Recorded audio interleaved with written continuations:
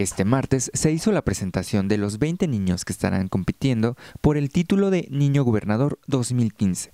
Cabe destacar que este año participarán 19 niñas y un niño que representa al municipio de Tepic. Son 19 mujeres, un hombre, por probabilidad, pues quien gane el, concurso para este año 2015 para ser un niño, eh, niña gobernador, pues probablemente sea una mujer gobernadora. De nuevo, el, el año pasado fue Abril que nos hizo el honor de representarnos de esta manera tan bonita y que seguiremos trabajando por nuestros niños. El niño o niña gobernador tendrá la oportunidad de trabajar de la mano del gobernador Roberto Sandoval, ya sea en campo, en oficina y con la gente.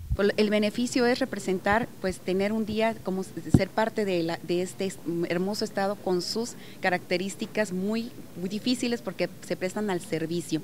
El ser servidor público el día de hoy pues representa una gran responsabilidad y sobre todo hacer valer la ley, hacer valer la justicia y sobre todo su participación en cada una de las áreas. Ella visita eh, o en este caso él, el que sea electo, eh, en este caso un niño o niña gobernador, tendrá la posibilidad de compartir con con, Roberto Sandoval la, la oportunidad de, estar sobre todo un día de trabajo en todo lo que se refiere en giras, trabajo en, oficina, en, las colonias, en los trabajos. Por eso es muy bonito que este día lo, lo, lo disfrute. Ana Lilia López de Sandoval agregó que este Día del Niño, cinco niños viajarán al estado de Jalisco como niños magistrados. Si es en el marco del Día del Niño, pues tenemos también la representación del día 30 de también cinco niños de Nayarit que van al, estado de Jalisco a representar ahora sí como tema magistrados. Serán niñas, niños magistrados que representen a nuestro estado de Nayarit. Para Enfoque TV, Antonio Jau.